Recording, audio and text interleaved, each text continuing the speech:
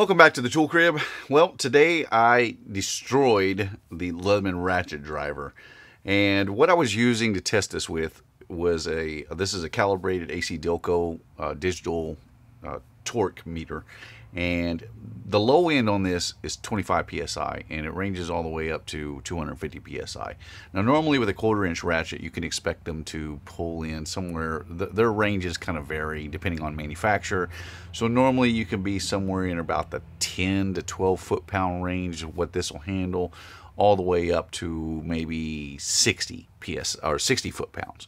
Uh, I was really expecting this to make it to the 25 psi uh, or pounds or uh, foot pounds of, of, torque, which is equivalent to about 34 newton meters.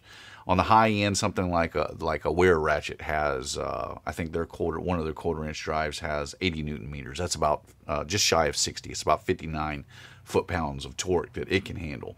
This one, however, didn't even meet the register at the low end of this. So apparently, I'm going to have to get a, a another digital meter that it has a low end that's lower than that because I was really truly expecting this to make it to the 25 psi mark or, or foot pounds mark. I keep saying psi. I don't know why I've got pneumatic stuff in my head right now.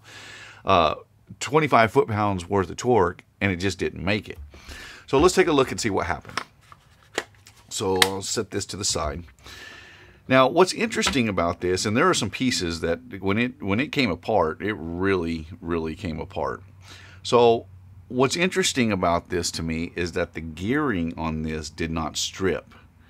What happened was the housing is what gave. The, the housing literally exploded on this thing. I was really expecting the gears to strip out before the housing would, but the housing is is the weak point on this, not the gearing. I believe that the gearing could have handled a bit more pressure. I think it probably could have got up into that 30 psi, or again, I did it 30 foot pound range, or maybe even higher, because I don't even notice any kind of stripping on that whatsoever. I don't know if I can get that to focus.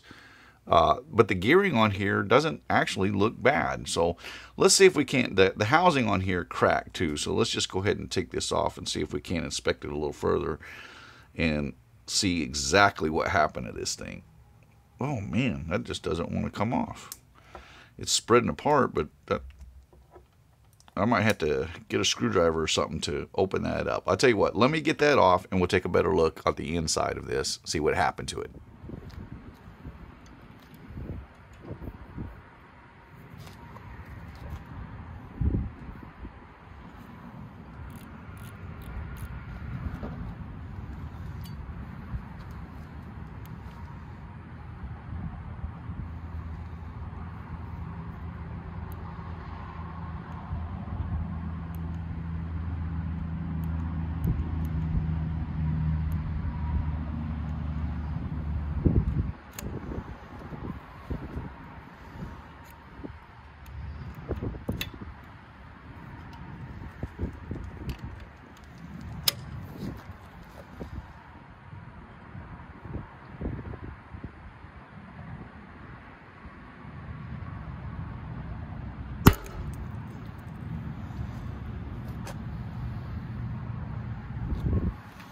Well, I finally got this thing apart. This housing was actually pretty tough. That plastic on there is actually pretty strong, and to get it to spread apart and hold open long enough to get it off of its uh, where it retains at took a little bit of force. So I actually used a couple of Leatherman tools to get it off there.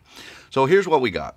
Uh, this housing, this is the lower housing. It's going to come together pretty much like so.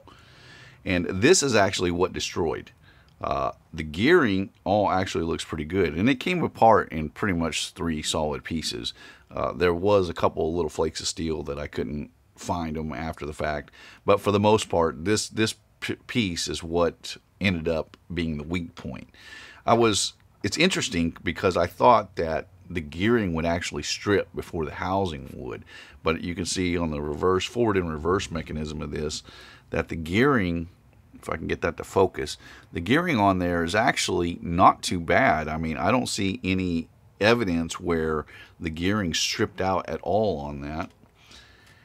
And if we look at the shaft itself, there is a little bit of a mark I found in one spot, but I think it's right there. It's I think when this thing destroyed and it, when it bent over, I think that's what caused that. It wasn't the gearing that stripped on it because normally if you have a ratchet mechanism like that that strips out, then you're going to see a wide path of, of the teeth that are just going to bend over and fold over on you. So obviously the weak point on this is definitely in the housing. The keeper was fine. It didn't nothing happened to it. The little ball detent, uh, and then this is where your switch mechanism on each side. You got the the little paddles for the backside of those gears. All that was intact. So it, it's not bad. Uh, I was I was a little disappointed that it didn't register up to 25 foot pounds of torque, uh, which is going to be right in that. Uh, 34 newton meter range. Now, I've seen uh, a lot of people are going to be critical of this uh, because they're comparing it to ratchets, true ratchets. And the thing with a ratchet is a ratchet has a lot broader head on it, so it has a lot more behind it uh, than what you're going to get out of an inline driver. That's one thing to keep in mind when, when being critical of this type of tool. I am still disappointed because I think that this should have held up to that 34 newton meters or 25 foot pounds of torque. However, I didn't think it would go much beyond that. Now, uh, the reason I kept going with it is because I felt like it was really, really close to registering uh, at that 25 P or 25 foot pound mark. So obviously, I'm going to have to try to redo this test with a different digital uh, torque meter that will get me down into the 15 uh, psi or uh, 15 foot pound of torque range to sort of see where we're at. So unfortunately, I don't have any accurate measurements on it because it just wouldn't register up to that 25 foot pound mark. But the good news is is that the gearing is actually better than what the housing is. Obviously, the housing is going to be the weak point, like we discussed before. So, for most screw applications that what you're going to be using this on, uh, if you're just driving uh, screws into wood or or sheet metal screws that you're just taking something out that's already been pre-drilled, uh, stuff of that nature, you're going to be all right. Uh, you're doing a probably quarter inch bolt, maybe a quarter inch lag or something like that, you'll probably still be all right. It's when you start getting up in higher ranges where you're trying to uh, put a 3 8 inch socket and use socket adapters or something like that with this tool. It's going to be well out of its range when you start getting into something like 3 8 of an inch or, or higher. So while it is convenient and good for what it's designed for, Obviously, there are some strength issues in the housing that they need to correct going forward if they're trying to make this a better tool. Uh, of course, with better quality comes higher price, so I doubt that we'll see that from Leatherman. But for light duty task, I still think this one is okay.